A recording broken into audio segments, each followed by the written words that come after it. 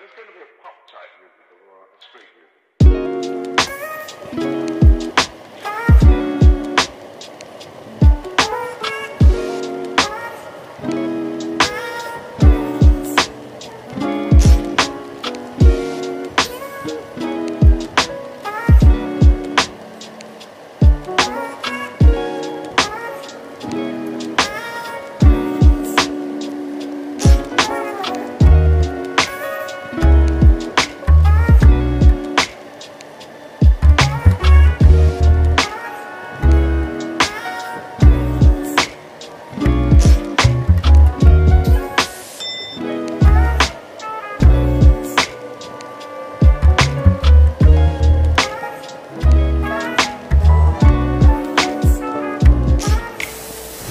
thank you